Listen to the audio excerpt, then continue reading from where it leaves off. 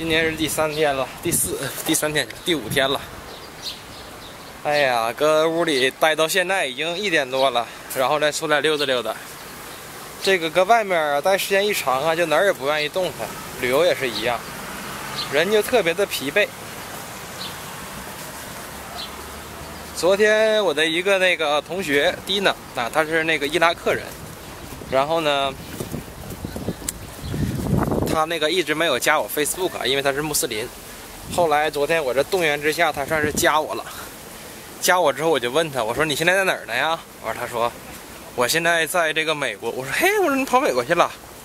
然后他说他要那边待几个月，然后跟我说他要结婚了。我说你不九三年出生的吗？你着什么急呀？结婚？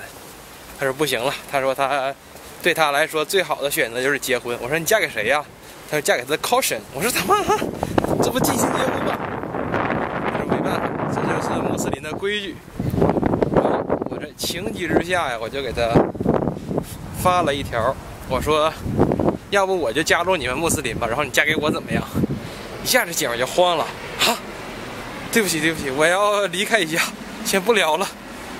一下就懵了，哎呀，我昨天也是冲动了，因为我想你他妈的，你们都可以娶四个老婆，然后。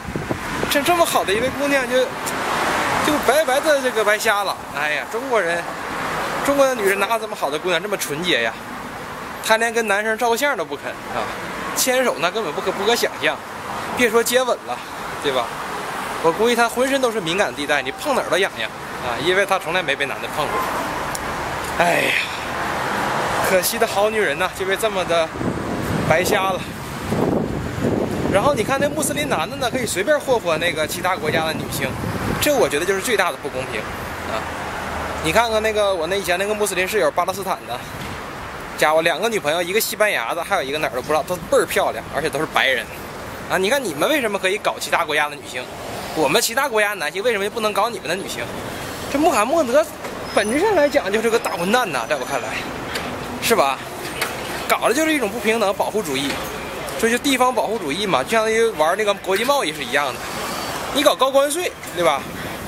你给我们卖东西巨便宜，然后不让我们收，不让我们那个收关税啊，然后大量的就是涌入。而我们想买你东西的时候呢，就是就关税就非常的高，要求非常的苛刻啊，我们根本没有能力去买，这太不公平了。哎呀，一聊这个话题我就亢奋。我现在到市州走一走。我今天决定啊，可能是走着去啊，还没有想好，因为这个距离有点远，先看看吧。嗯，今天是周一啊。